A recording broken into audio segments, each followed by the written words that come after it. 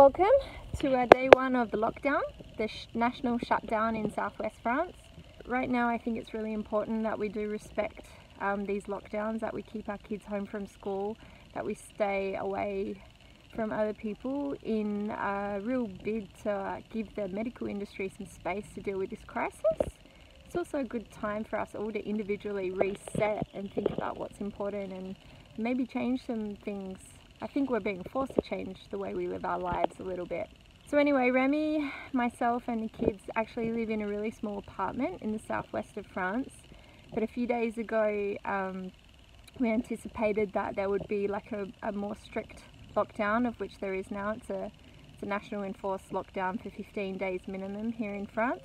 So we came up to Remy's parents' property where we have already been experimenting with permaculture and we thought it's the best chance now to spend some time in the garden with the kids. But I'm going to take you out the back to our little section of the garden here today to show you what we've been working on and this is how we're dealing with the lockdown and I think it's a pretty positive way.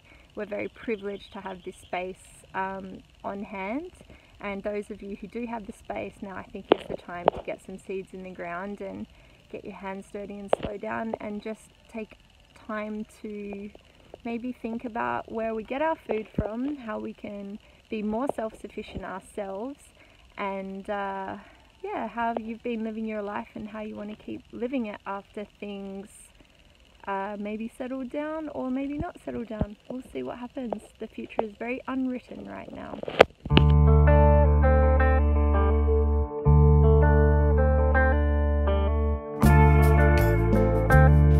So this was all grass and a year ago Remy started digging up beds and preparing soil like here and some of it's ready this year bamboo was already here. We have a little stream. We're very, very lucky to have this little water stream. Our soil is quite um, hard, like clay. Got some flowers in here, just, just in new. This is our little fire pit. I like to come and have a little fire in the afternoons, especially in winter when it's cold. So we've got potatoes there. This was actually the first bed that was made a year ago and the only one we um, we grew anything in last year. Everything else was being prepared. So these are potatoes that have just sprouted themselves, left over from last year. And it's kind of hard to see here, but just around here, these are little pea shoots that are coming up. I planted peas straight into the ground. There's another one here um, about two weeks ago. What are you up to, Ryder? Um, helping Remy do like a new planting. Can you show everyone around the garden? So what's this one? This one um, is for like, I think, the corn, I think. Okay, when did we build this? We, we built this yesterday. Okay.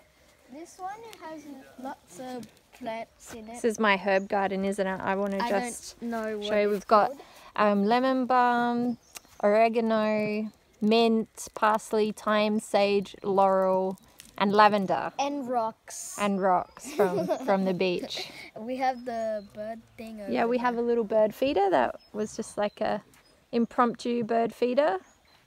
So this is the river. Well, it's not a river, it's a little creek that runs through and joins up. We actually back onto a little forest over there and this is a corn monocrop corn area so all of the fields around here are monocrop except for ours. We've got what's going in here boys? Uh, there's going to oh there's a deer you can't see it. Oh. oh oh there's another one can you see that? They're wild deer. Awesome so this is a little impromptu structure Remy built for the cucumbers that will go in. They're currently uh, starting to sprout in the bathroom. What else is going in here, darling? Tomatoes. Uh, we've, we've actually got a little map. Corn. We're, we're not freestyling everything. We do have a little design.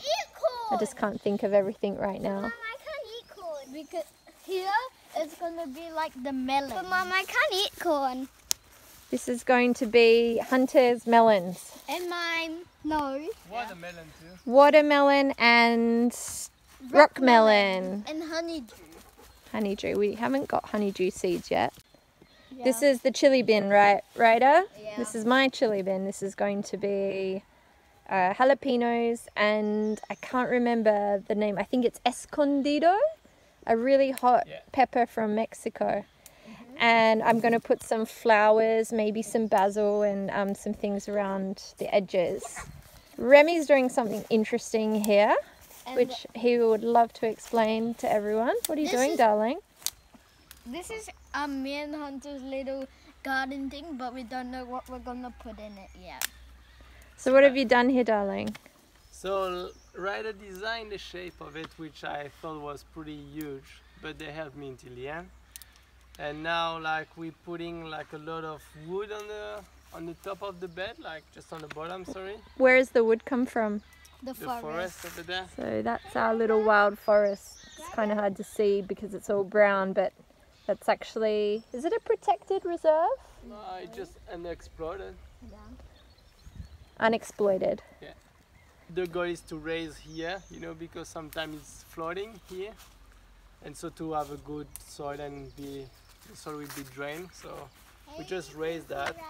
Normally you're supposed to take a lot of wood like that has already decomposed like that.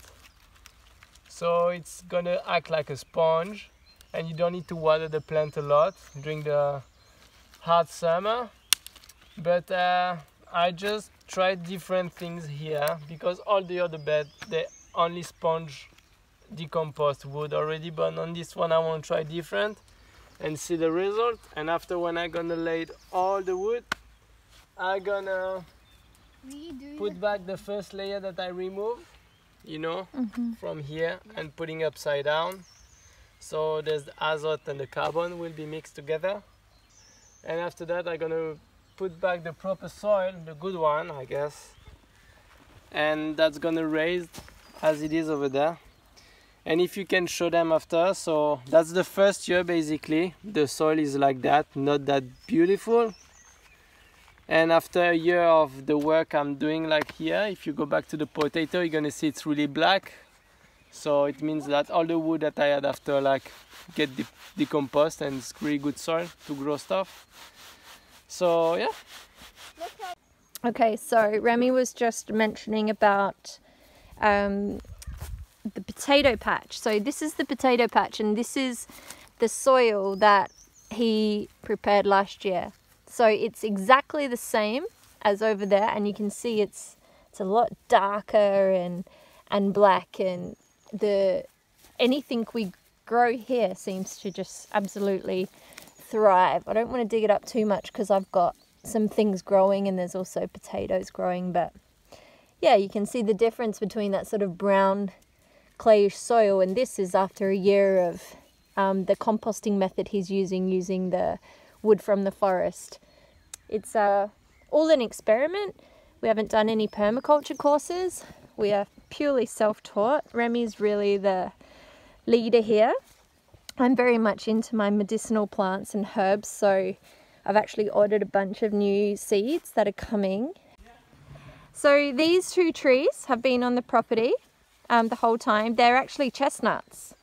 So they are obviously it's in the winter now, but yeah, they're chestnuts. These seeds actually just resprout themselves and, And they're the- kind of resprouting everywhere. And they're also very owl hurt. They're they- spiky, aren't they? We are not actually using vegetable scraps here yet. We because we don't live here, we only come here on the weekends and we're now here during the the virus lockdown.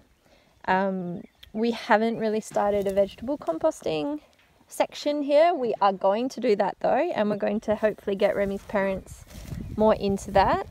But so right now, this is just sort of what Remy was explaining. It's it's wood from the forest mixed with soil and clippings. Um, just a very natural way of getting the earth ready for garden beds.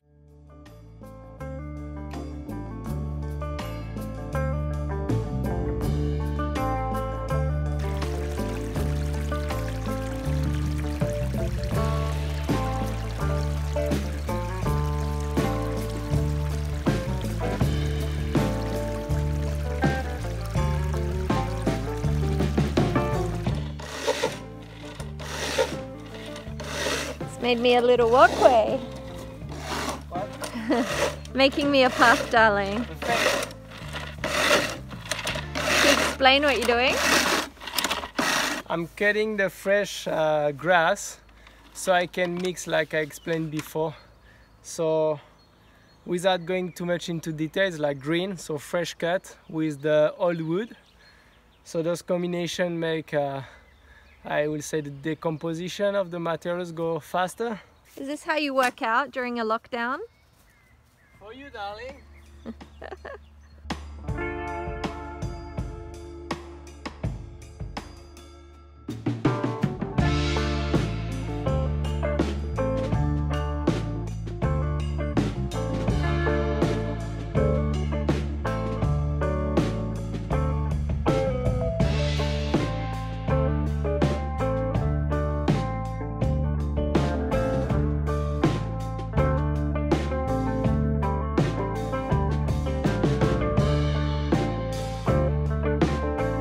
find a video on YouTube that they say that basically less hole, like empty stuff, like better it is. So, is that make sense? Yeah. Just like freaking put a lot of stuff in it, and Fill her up, right? I guess yeah. And that bucket looks empty, so I guess Yeah, you time to fill it me. up. Okay, so why the plastic? It's a little tip, so you don't have really to. If you don't use the plastic, you put first all that first layer on the ground, and after a while, it start to get really muddy. So by putting that first, you protect the future path. And second, like you can move it. So when you finish that side, which I just done, I just pull that things, and all the soil come with me and you put that here. And if people ask why I don't use a wheelbarrow, I usually do, but uh, when there's that amount, I couldn't fit everything on the wheelbarrow, so I had to use that big plastic uh, shit. Right?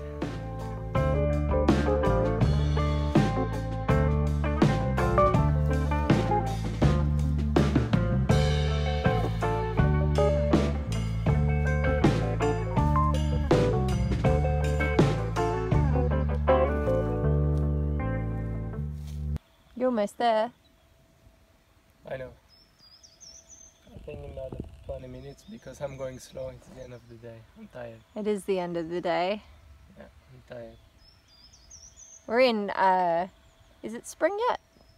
Yeah, it is. It's basically spring. I don't know. I always thought spring in the northern hemisphere was the beginning of March, but my French teacher told me that spring, which is printemps Yeah. in French, actually starts on like March the 23rd or something.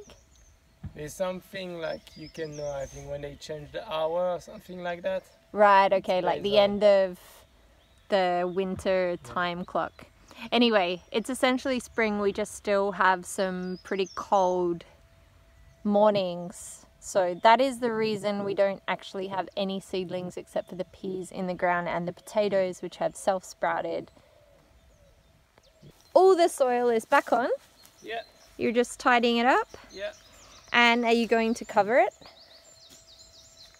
Uh, I run out of uh, dry wood, Mulch. so tom- yeah, mulch. So tomorrow I'm gonna do. I'm gonna go in the forest and take some to make it to cover it. Like I don't really like to let it like that, but I guess just for a day. Okay.